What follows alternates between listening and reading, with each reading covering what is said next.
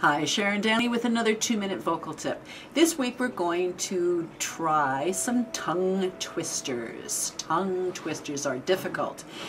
And they require that every vowel, consonant, and diphthong be spoken with its full and intended value.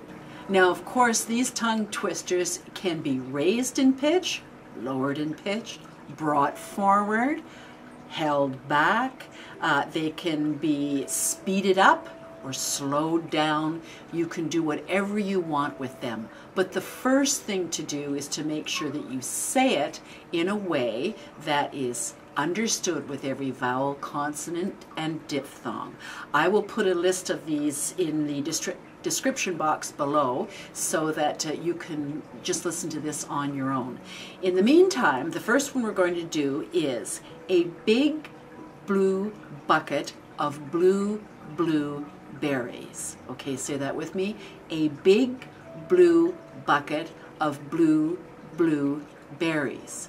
The second one, a cup of coffee in a coffee copper pot a cup of coffee in a copper coffee pot. The third one, double bubble gum bubbles double. Double bubble gum bubbles double. Fourth, I never smelled a smelt that smelled as bad as that smelt smelled.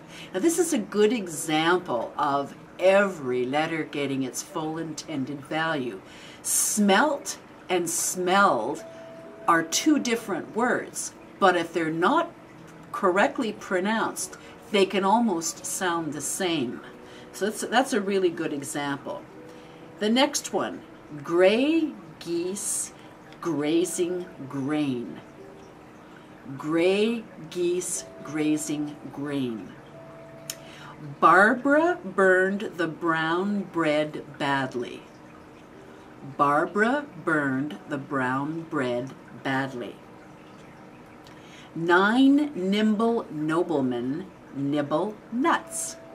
Nine nimble noblemen nimble nuts.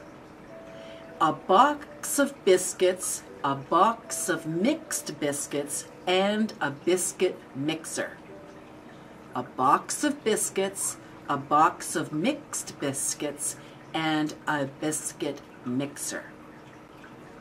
And number nine, we're going to do this five times.